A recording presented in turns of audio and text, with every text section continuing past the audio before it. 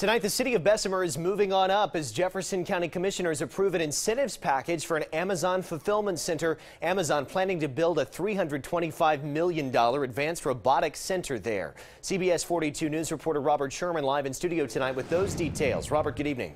Well, Jack, big news for the city of Bessemer as it looks as though an Amazon fulfillment center is on the way. This would be the biggest investment in the city's 130 year history and would bring with it jobs and hope.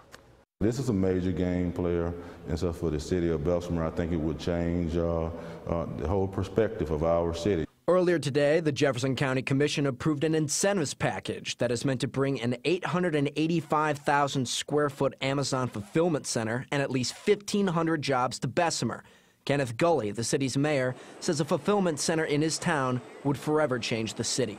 All of us know the socioeconomics of our city. Uh, and what this stands to do is make sure so that all of our citizens are able to be gainfully employed. You may recall Birmingham's campaign to score Amazon's second headquarters, HQ2, last year.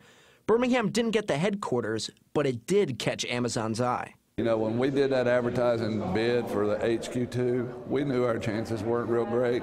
But not only that, if we put a good effort into it, put our heart into it, maybe not Amazon, but somebody else might notice. And it's kind of ironic that Amazon is the one that's coming back. This package includes several million dollars worth of incentives. But to State Representative Allen Farley, it's more than worth it. Bessemer's fixing to be a place that people no longer move away from.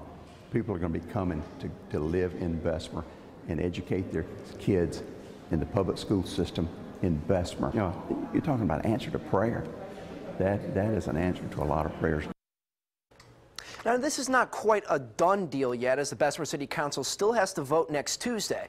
That being said, things are looking pretty good, and most expect the deal to go through. In the studio, Robert Sherman, CBS 42 News, local coverage you can count on.